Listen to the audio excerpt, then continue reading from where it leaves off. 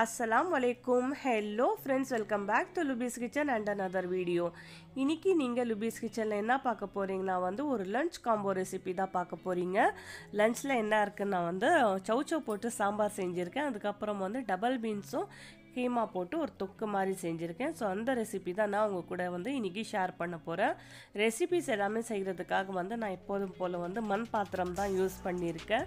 So வந்து சாம்பார் செய்கிறதுக்காக வந்து மண் சட்டி வச்சுட்டேன்.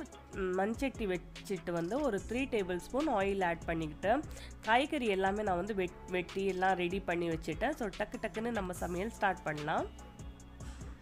ஆயில் வந்து நல்லா சூடான பிறகு ஹாஃப் டீஸ்பூன் வந்து கடகு ஆட் பண்ணியிருக்கேன். ஹாஃப் டீஸ்பூன் வந்து ஜீரகம் ஆட் பண்ணியிருக்கேன். கொஞ்சோண்டு வந்து கருவேப்பிலை ஆட் பண்ணியிருக்கேன். மூணு வந்து காஞ்ச மிளகாய் ஆட் பண்ணியிருக்கேன். ஆட் பண்ணிட்ட பிறகு வந்து ஒரு பத்து பன்னெண்டு சின்ன வெங்காயம் ஆட் பண்ணியிருக்கேன். பூண்டு வந்து ஒரு ஏழு எட்டு பூண்டு ஆட் பண்ணியிருக்கேன். ஆட் பண்ணிவிட்டு இது எல்லாமே வந்து ஒரு டூ மினிட்ஸ்க்காக வந்து ஃப்ரை பண்ணிக்க போகிறேன் டூ மினிட்ஸ்க்காக இது எல்லாமே ஃப்ரை பண்ணிட்ட பிறகு நான் வந்து சௌச்சௌ தான் யூஸ் பண்ண போகிறேன் சாம்பார் செய்கிறதுக்காக ஸோ சௌச்சௌ வந்து கட் பண்ணி ஆட் பண்ணிக்க போகிறேன் நீங்கள் வந்து வேறு காய்கறி இருந்தால் கூட ஆட் பண்ணலாம். முருங்கைக்காய் கத்திரிக்காய் அந்த மாதிரி வேறு ஏதாவது வெஜிடபிள்ஸ் நீங்கள் ஆட் பண்ணணும்னு நினச்சிங்கன்னா கூட ஆட் பண்ணிக்கலாம். சவுச்சோ ஆட் பண்ணிவிட்டு வந்து ஒரு டூ மினிட்ஸ்க்காக நல்லா ஃப்ரை பண்ணிக்கிட்டேன். ஃப்ரை பண்ணிவிட்டு வந்து ஒரே ஒரு பெரிய தக்காளி இருந்தது. நல்லா பழுத்த தக்காளியாக இருந்தது. ஸோ அதுக்காக வந்து ஒரே ஒரு தக்காளி தான் நான் ஆட் பண்ணியிருக்கேன். நீங்கள் வந்து சின்ன தக்காளியாக இருந்தால் ரெண்டு மீடியம் சைஸ் தக்காளி கூட ஆட் பண்ணிக்கலாம். அதுக்கப்புறம் இதில் வந்து தேவையான அளவுக்கு வந்து உப்பு ஆட் பண்ணியிருக்கேன். மஞ்சத்தூள் ஆட் பண்ணியிருக்கேன். சாம்பார் பொடி வந்து ஒரு மூணு டேபிள் ஸ்பூன் ஆட் பண்ணியிருக்கேன். அப்புறமா வந்து மிளகாய் தூள் வந்து ஒன் டேபிள் ஸ்பூன் ஆட் பண்ணியிருக்கேன். ஆட் பண்ணிவிட்டு இது எல்லாமே வந்து ஒரு ஒன் மினிட்காக வந்து நல்லா ஃப்ரை பண்ணிக்கிறேன். ஃப்ரை பண்ணிட்ட பிறகு இது வந்து வேகிறதுக்காக வந்து சௌச்சௌ வேகிறதுக்காக வந்து நான் வந்து ஒன் கிளாஸ் வந்து தண்ணி ஆட் பண்ணியிருக்கேன் ஆட் பண்ணிவிட்டு வந்து ஒரு ஃபைவ் டு சிக்ஸ் மினிட்ஸ்க்காக வந்து இது லோ ஃப்ளேமில் வந்து வேகிறதுக்காக வச்சிட போகிறேன்னா ஸோ அது பாருங்கள் சௌச்சோ வந்து நல்லா வெந்துட்ட பிறகு நான் ஆல்ரெடி வந்து பருப்பு வந்து துவரம் பருப்பு எடுத்திருக்கேன். ஒரு ஒன் கப் துவரம் பருப்பு வந்து ஆல்ரெடி வேக வச்சுருக்கேன். ஸோ அந்த பருப்பு வந்து இதில் ஆட் பண்ணிக்க போகிறேன் வேக வைத்த துவரம் பருப்பு. ஆட் பண்ணிவிட்டு அதுக்கப்புறம் இதில் வந்து கொஞ்சம் புளி க புளி தண்ணி இருக்கு இல்லையா அதை ஆட் பண்ணிக்க போகிறேன் உங்களுக்கு வந்து புளிப்புத்தனம் எப்படி வேணுமோ பார்த்து நீங்கள் அந்த மாதிரி ஆட் பண்ணிக்க. நான் வந்து கொஞ்சம் தான் ஆட் பண்ணியிருக்கேன். ஸோ வந்து இது வந்து நல்லா கொதிக்க கொதிக்க விடணும். இது கொதிக்கிற வரைக்கும் நம்ம வந்து சைடிஷ் செய்ய ஆரம்பிச்சிடலாம். ஸோ வந்து ஒரு கடாய் வச்சுருக்கேன். கடாய் வச்சுட்டு வந்து இதில் வந்து ஒரு four to five tablespoon வரைக்கும் வந்து ஆயில் ஆட் பண்ணிக்கிறேன். நான் வந்து ஒரு ஹாஃப் கேஜி வந்து டபுள் பீன்ஸ் எடுத்திருக்கேன். டபுள் பீன்ஸ் எடுத்து அதோட தோல் தோல் எல்லாமே வந்து நான் எடுத்துட்டேன். ஏன்னா என் வீட்டில் வந்து தோல்லாம் எடுத்துகிட்டு இந்த மாதிரி குக் பண்ணால் தான் வந்து சாப்பிடுவாங்க. ஸோ சென்டரில் இந்த மாதிரி நீங்கள் இருக்கும் இல்லையா? ஸோ கட் பண்ண உடனே வந்து அது தோல் வந்துடும். இப்போ வந்து தோல் எடுத்துகிட்டே குக் பண்ணுங்கள் அப்போ தான் குழந்தைங்க கூட நல்லா விரும்பி சாப்பிடுவாங்க. ஸோ இப்போ பார்த்தீங்கன்னா வந்து ஆயில் வந்து நல்லா சூடாயிடுச்சு. ஆயில் நல்லா சூடான பிறகு இதில் வந்து வெங்காயம் ஆட் பண்ணிக்கலாம். நான் வந்து ஒரு மூணு மீடியம் சைஸ் வெங்காயம் ஆட் பண்ணிக்கிறேன். ஆனியன் வந்து ரொம்ப வந்து குக் ஆகணும் ரொம்ப கோல்டன் ப்ரௌன் ஆகணும் அந்த மாதிரி இல்லை லைட்டாக வந்து அதோட வந்து ரானஸ் போனால் அந்த பச்சை ஸ்மெல் இருக்கும் இல்லையா வெங்காயத்தோட பச்சை ஸ்மெல் அது மட்டும் வந்து போனால் போதும். ஒரு வந்து டூ டு த்ரீ மினிட்ஸ்க்காக நம்ம வந்து ஃப்ரை பண்ணிக்கிட்டால் போதும். அந்த பிங்க் கலர் வரும் வரைக்கும் நம்ம ஃப்ரை பண்ணிக்கிட்டால் போதும்.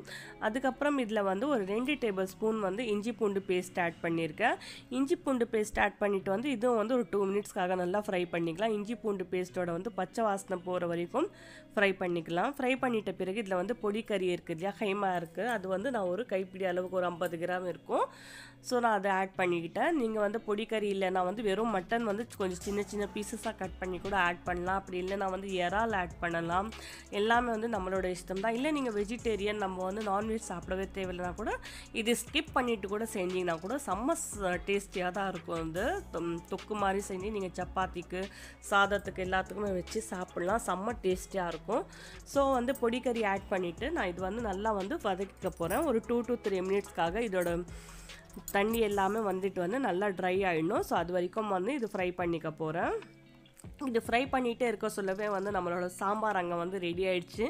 பாருங்கள் பார்த்தா வந்து ஒரு நல்லா வந்து கொதி வந்துடுச்சு. ஸோ இந்த கடைசி நேரத்தில் நான் என்ன பண்ண போகிறேன் நான் வந்து கொஞ்சம் வந்து கொத்தமல்லி ஆட் பண்ணிக்க போகிறேன் ஆட் பண்ணிவிட்டு வந்து பெருங்காயம் தூள் வந்து ஒரு ஹாஃப் டீஸ்பூன் ஆட் பண்ணிவிட்டு இது அவ்வளோதாங்க நம்மளோட வந்து டேஸ்டியான சூப்பரான சாம்பார் வந்து ரெடி ஆயிடுச்சு. ஸோ வந்து நெக்ஸ்ட்டு நம்ம வந்து நம்ம சைட் டிஷ்ஷில் வந்து ஃபோக்கஸ் பண்ணலாம். ஓகேவா சாம்பார் வேலை முடிஞ்சிச்சு. ஸோ வந்து அதுக்கப்புறம் வந்து பொடிக்கறி வந்து நல்லா வந்து வதக்கி வதக்கிட்ட பிறகு இதில் வந்து ஒரு ரெண்டு வெங்காயம் ரெண்டு தக்காளி ஆட் பண்ணிக்கிறேன் சாரி மீடியம் சைஸ்து ரெண்டு தக்காளி ஆட் பண்ணிக்கிறேன். ஆட் பண்ணிவிட்டு வந்து இதுவும் வந்து நல்லா கொஞ்சம் வந்து குக் பண்ணிக்கிறேன். தக்காளி வந்து சாஃப்ட் ஆகுற வரைக்கும் குக் பண்ணிக்கிறேன். எப்போவுமே வந்து தக்காளி வந்து கொஞ்சம் சாஃப்ட் ஆகி குக் ஆன பிறகு தான் வந்து நம்ம மசாலாஸ் எல்லாமே ஆட் பண்ணணும்.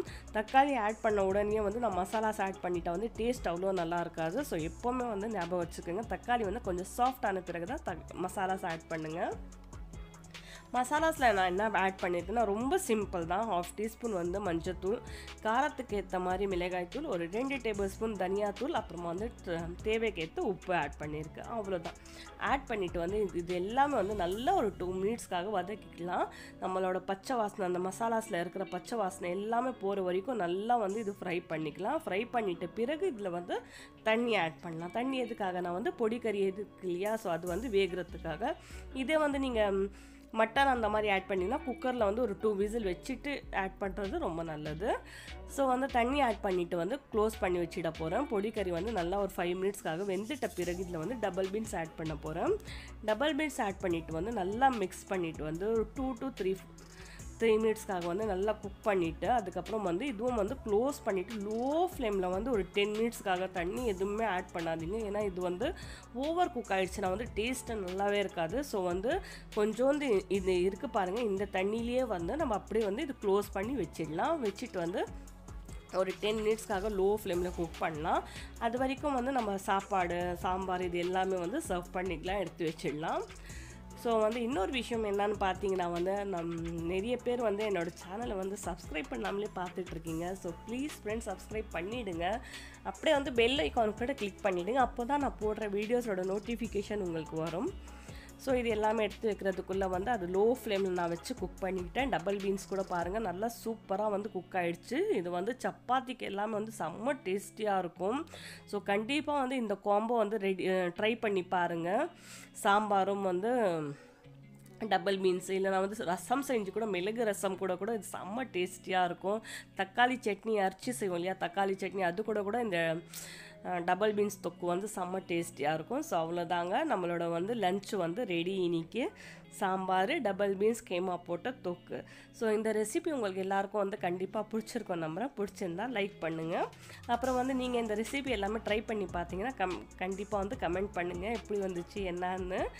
ஸோ வந்து அதுக்கப்புறம் வந்து பெல் உங்கள் ஃபேமிலி அண்ட் ஃப்ரெண்ட்ஸ் கூட வந்து ஷேர் பண்ணிவிடுங்க ஞாபகமாக வந்து லுபீஸ் கிச்சனை சப்ஸ்கிரைப் பண்ண மறந்துடாதீங்க. பாய் ஃப்ரெண்ட்ஸ் நெக்ஸ்ட் வீடியோவில் பார்க்கலாம் பாய்